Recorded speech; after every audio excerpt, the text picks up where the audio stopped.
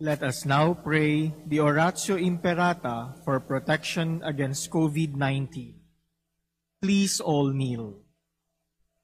Merciful and compassionate Father, we come to you in our need to seek your protection against the COVID-19 that has disturbed and claimed many lives.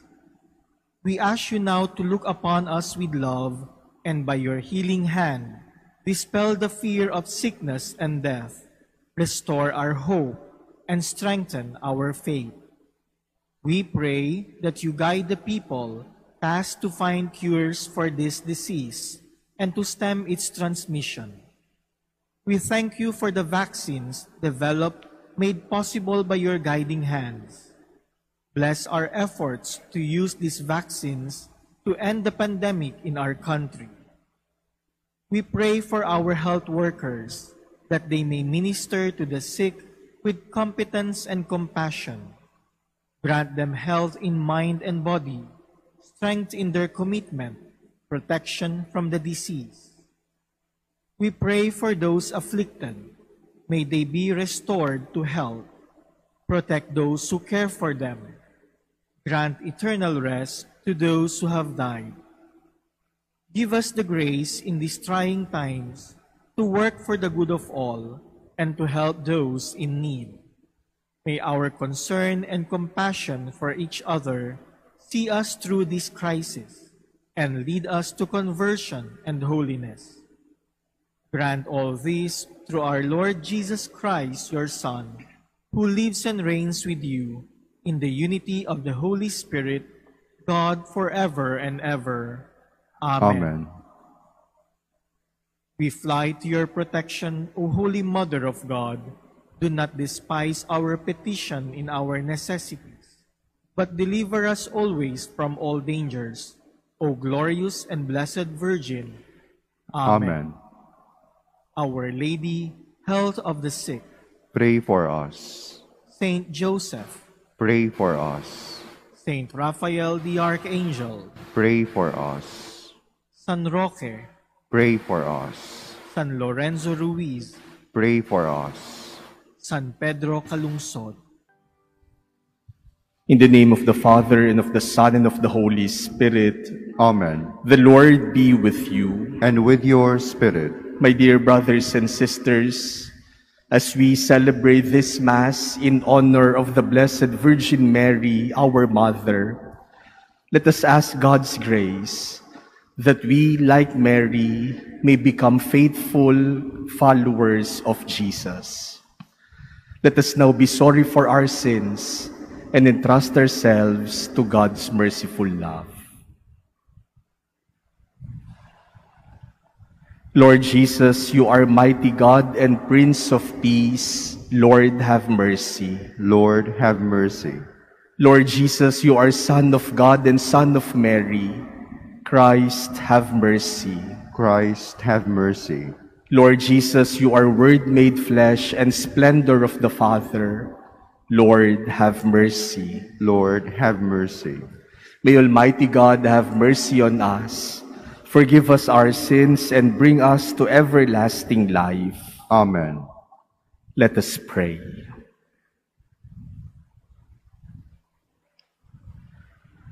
As we venerate the glorious memory of the Most Holy Virgin Mary, grant, we pray, O Lord, through her intercession, that we too may merit to receive the fullness of your grace through our Lord Jesus Christ, your Son, who lives and reigns with you in the unity of the Holy Spirit, God forever and ever. Amen. Please be seated.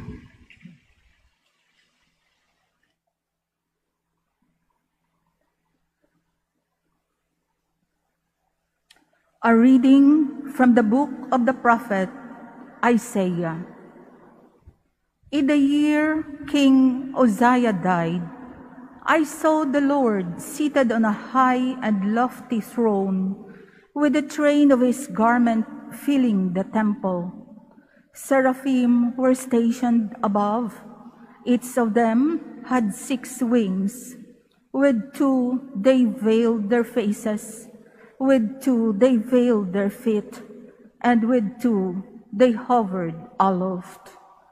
They cried one to the other, Holy, holy, holy is the Lord of hosts. All the earth is filled with his glory. At the sound of that cry, the frame of the door shook, and the house was filled with smoke. Then I said, Woe is me! I am doomed, for I am a man of unclean lips, living among a people of unclean lips. Yet my eyes have seen the King, the Lord of hosts. Then one of the seraphim flew to me, holding an ember that he had taken with tongs from the altar. He touched my mouth with it and said, See, now that this has touched your lips, your wickedness is removed, your sin purged. Then I heard the voice of the Lord saying, Whom shall I send? Who will go for us? Here I am, I said, send me. The word of the Lord. Thanks be to God. The Lord is King, He is robed in majesty. The Lord is King, he is robed in majesty. The Lord is King in splendor robed, robed to the Lord, and girt about with strength. The Lord is King, he is robed in majesty. And he has made the world firm, not to be moved. Your throne stands firm from old, from everlasting you are, O Lord. The Lord is King, he is robed in majesty. Your decrees are worthy of trust indeed. Holiness befits your house, O Lord, for length of days. The Lord is King, he is robed in majesty. Please stand.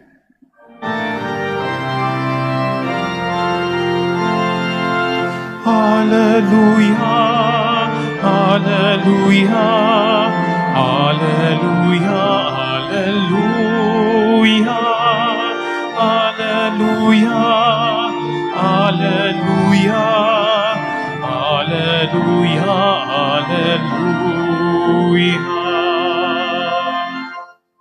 If you are insulted for the name of Christ, blessed are you, for the Spirit of God rest upon you.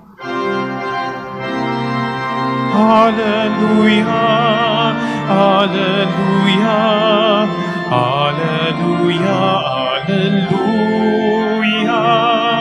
Hallelujah, Hallelujah, Hallelujah, Hallelujah.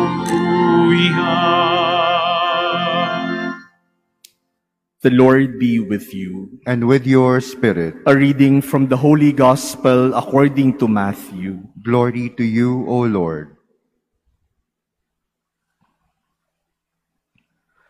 Jesus said to his apostles, No disciple is above his teacher, no slave above his master.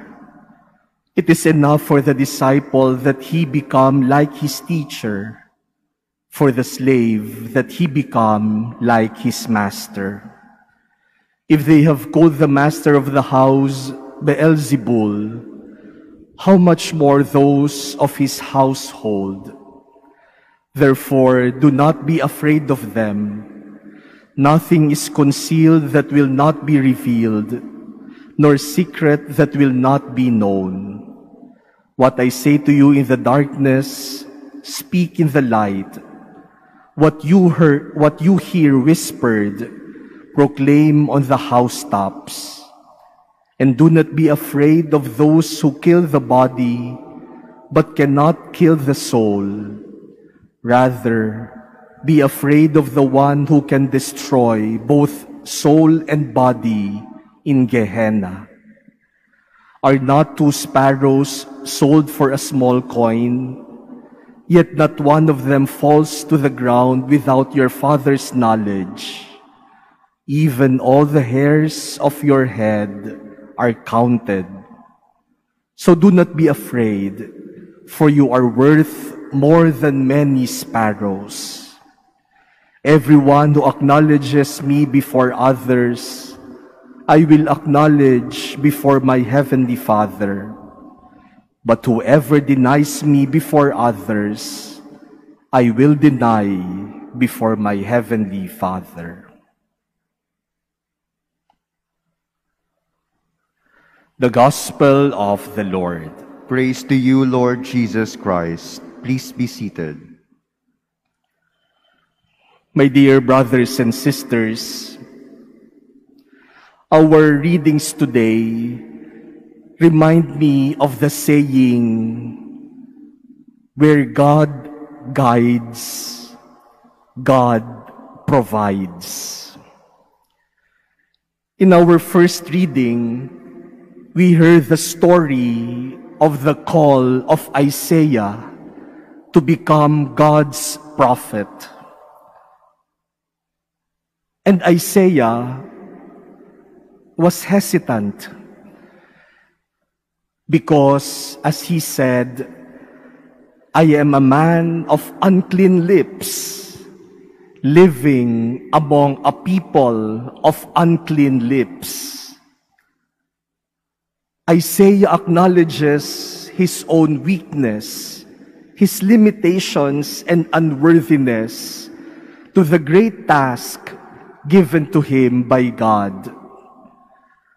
But in the vision of Isaiah, he saw an angel holding an ember and with it touched his lips.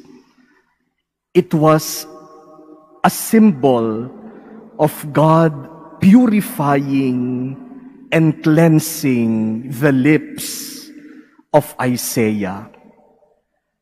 It was as if God was giving, giving Isaiah this, the necessary skills that he need in order to do the mission of being a prophet. Where God guides, God will definitely provide.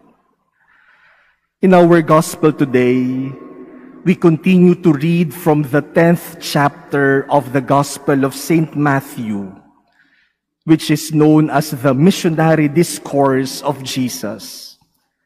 In this section of the Gospel of St. Matthew, Jesus gives instructions to his disciples before sending them to mission.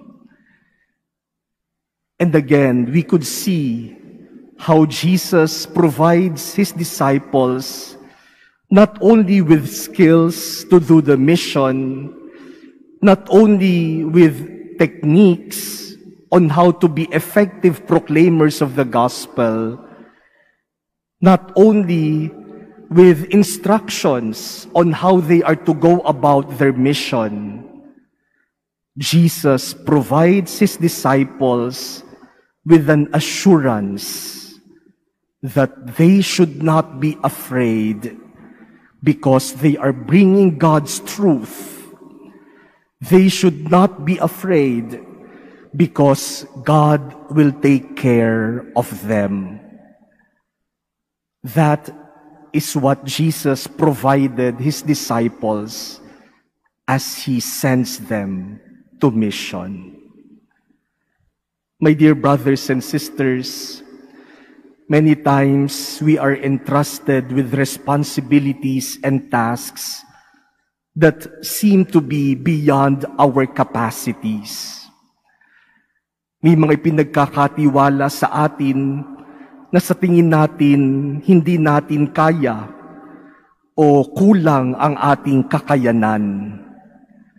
Pero pinapaalalahanan tayo ngayon na saan man tayo isugo ng Panginoon, anumang misyon ang ipagkatiwala niya sa atin, anumang responsibilidad ang dapat nating gawin, kung yan ay galing sa Panginoon, siya rin ang magbibigay sa atin ng kinakailangan nating lakas at galing para matupad at magampanan ang mga ipinagagawa niya sa atin. My dear brothers and sisters, where does God send you? What are the mission, the responsibilities that God entrusts to you? What are the tasks that God wants you to accomplish? Do not hesitate. Do not waver. Do not be afraid.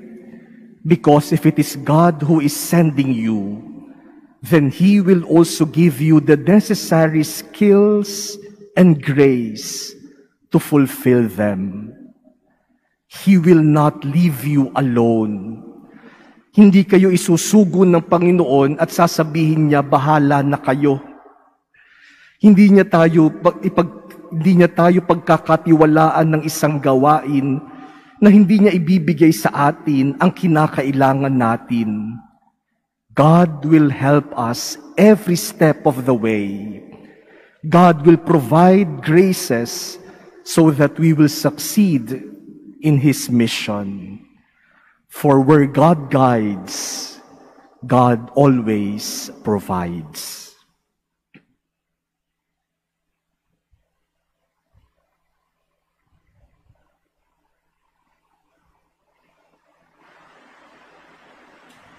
Please stand. Gathered together as a community to celebrate the mystery of our salvation, we turn now in prayer to God our Father, conscious of His love for each one of us. For every petition, let us say, Lord, hear our prayer. Lord, hear our prayer.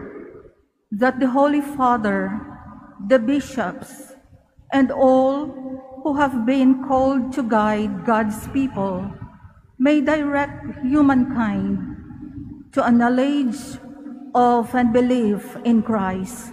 Let us pray to the Lord Lord, Lord, hear hear our our prayer. that we may be given the grace to face difficult situations with courage, knowing that the Lord is always at our side to give us strength. Let us pray to the Lord Lord, hear our prayer. that young people contemplating the call to be priests or religious may overcome their doubts, fears, and uncertainties.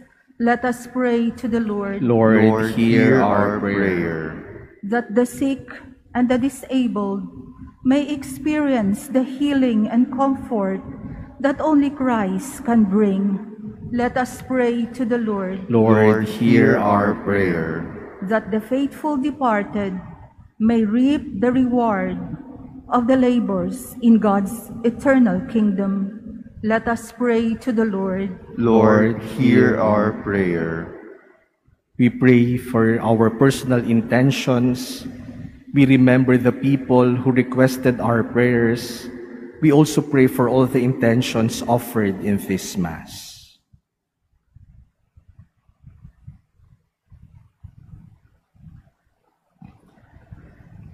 Heavenly Father, we commit our cause to you. Give us the strength to follow you even in our trials and difficulties. We ask this through Christ our Lord. Amen. Please be seated.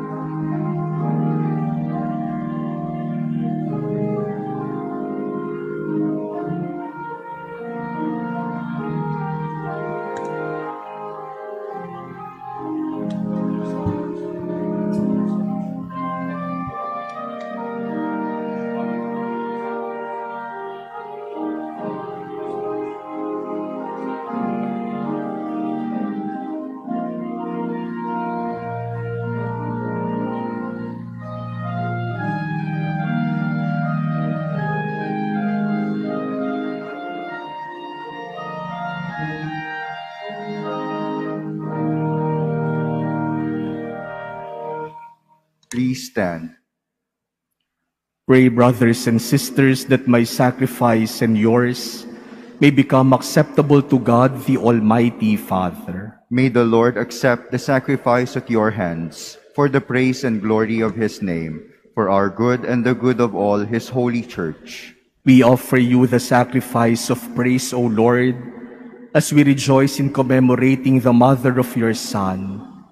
Grant, we pray, that through this most holy exchange, we may advance towards eternal redemption through Christ our Lord. Amen. The Lord be with you. And with your spirit, Lift up your hearts. we lift them up to the Lord. Let us give thanks to the Lord our God. It is right and just. It is truly right and just, our duty and our salvation, always and everywhere to give you thanks, Lord, Holy Father, Almighty and eternal God, and to praise, bless, and glorify your name in veneration of the blessed ever Virgin Mary. For by the overshadowing of the Holy Spirit, she conceived your only begotten Son, and without losing the glory of virginity, brought forth into the world the eternal light, Jesus Christ our Lord. Through him the angels praise your majesty, dominions adore and powers tremble before you. Heaven and the virtues of heaven and the blessed seraphim worship together with exaltation. May our voices, we pray, join with theirs in humble praise as we acclaim. Holy, holy, holy, Lord God of hosts, heaven and earth are full of your glory. Hosanna in the highest. Blessed is he who comes in the name of the Lord. Hosanna in the highest. Please kneel. You are indeed holy, O Lord, the fount of all holiness. Make holy, therefore, these gifts, we pray, by sending down your Spirit upon them like the dewfall, so that they may become for us the body and blood of our Lord Jesus Christ. At the time he was betrayed and entered willingly into his passion, he took bread and giving thanks, broke it and gave it to his disciples, saying, Take this, all of you, and eat of it, for this is my body, which will be given up for you.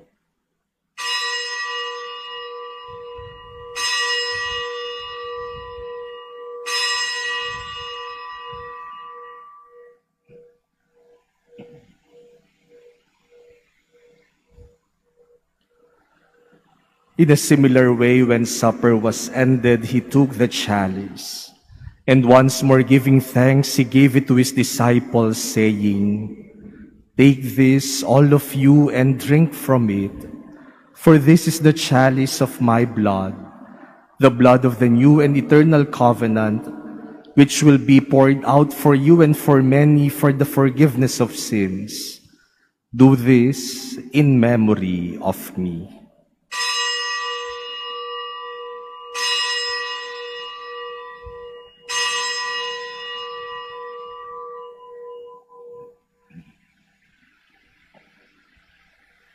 Please stand. The mystery of faith. We proclaim your death, O Lord, and profess your resurrection until you come again. Therefore, as we celebrate the memorial of his death and resurrection, we offer you, Lord, the bread of life and the chalice of salvation, giving thanks that you have held us worthy to be in your presence and minister to you. Humbly we pray that partaking of the body and blood of Christ, we may be gathered into one by the Holy Spirit. Remember, Lord, your church spread throughout the world and bring her to the fullness of charity, together with Francis, our Pope, and Jose, our Bishop, and all the clergy. Remember also our brothers and sisters who have fallen asleep in the hope of the resurrection, and all who have died in your mercy. Welcome them into the light of your face. Have mercy on us all, we pray, that with the Blessed Virgin Mary, Mother of God, with Blessed Joseph, her spouse, with the blessed apostles and all the saints who have pleased you throughout the ages, we may merit to be co-heirs to eternal life and may praise and glorify you through your Son, Jesus Christ. Through him and with him and in him, O God Almighty Father, in the unity of the Holy Spirit, all glory and honor is yours forever and ever. Amen. Let us pray to the Father as Jesus taught us. Our, Father, who art in heaven, hallowed be thy name. Thy kingdom come, thy will be done on earth as it is in heaven. Give us this day our daily bread, and forgive us our trespasses, as we forgive those who trespass against us. And lead us not into temptation, but deliver us from evil. Deliver us, Lord, we pray, from every evil. Graciously grant peace in our days, that by the help of your mercy we may be always free from sin and safe from all distress, as we await the blessed hope and the coming of our Savior, Jesus Christ. For the kingdom, the power, and the glory are yours, now and forever. Lord Jesus Christ, who said to your apostles, Peace I leave you, my peace I give you. Look not on our sins, but on the faith of your church, and graciously grant her peace and unity in accordance with your will, who live and reign forever and ever. Amen. The peace of the Lord be with you always. And with your spirit, let us offer each other the sign of peace.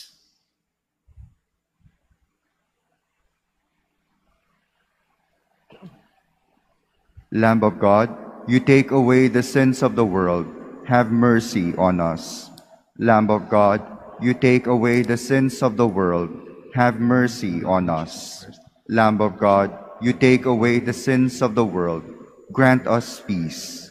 Please kneel.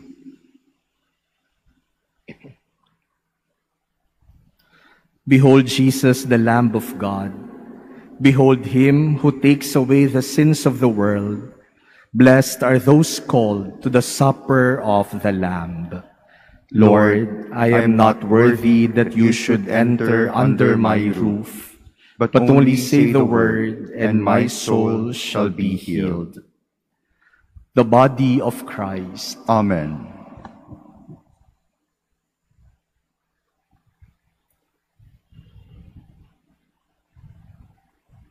Act of Spiritual Communion. My Jesus, I believe that you are present in the most holy sacrament. I love you above all things, and I desire to receive you into my soul. Since I cannot at this moment receive you sacramentally, come at least spiritually into my heart. I embrace you as if you were already there and unite myself wholly to you. Never permit me to be separated from you. Amen.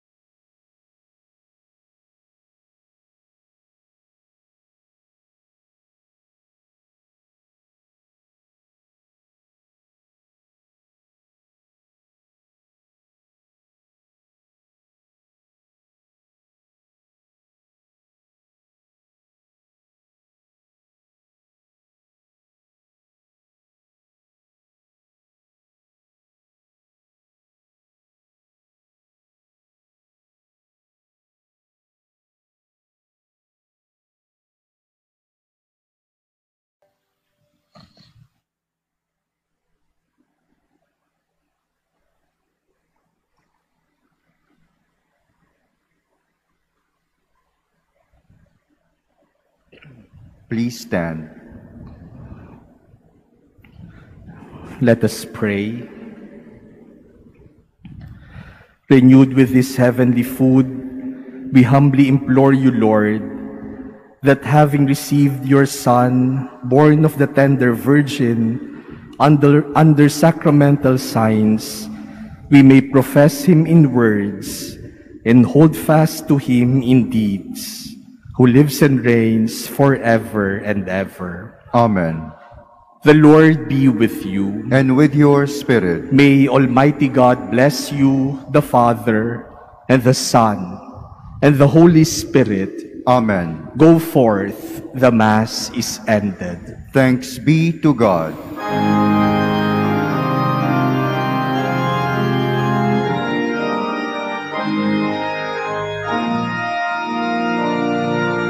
Pinagpalang nilikha, ibinaglihing walang sana. Pusong dalisay dakila, Maria, ina ng awa.